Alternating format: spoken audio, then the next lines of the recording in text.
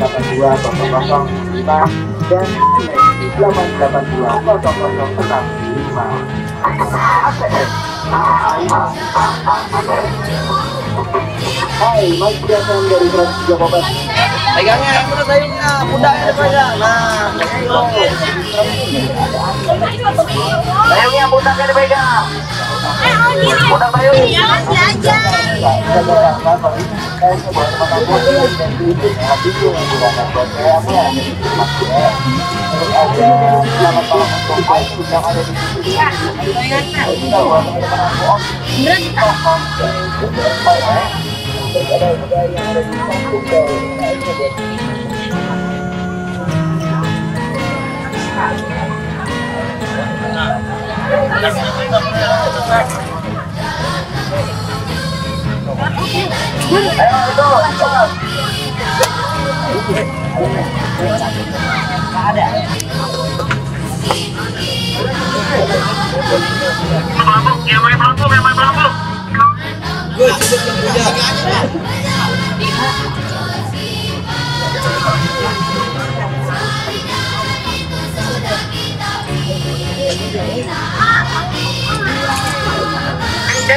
Itu ya, dua, tiga.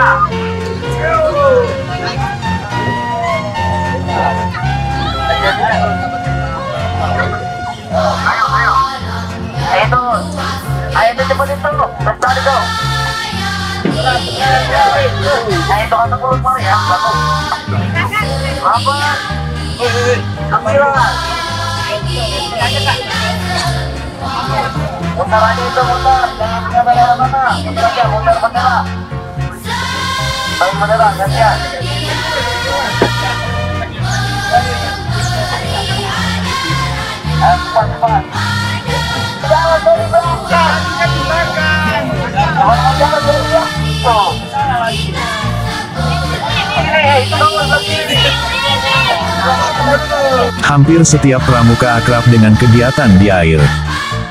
Beberapa tanda kecakapan khusus pramuka bahkan berupa kegiatan di air seperti berenang.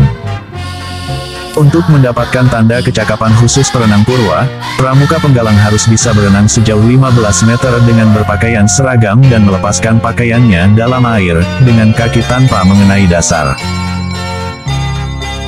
Selain itu bisa berenang gaya punggung sejauh 20 meter, gaya katak sejauh 20 meter, gaya samping atau gaya bebas sejauh 20 meter, secara berturut-turut sehingga jarak yang ditempuh berjumlah 60 meter. Pramuka juga harus bisa menyelam dalam air, dan mengambil benda di dasar sedalam tidak lebih dari 2 meter serta terjun dengan baik dari tepi kolam renang. Ada pula tanda kecakapan khusus juru layar, juru selam, pendayung dan ski air.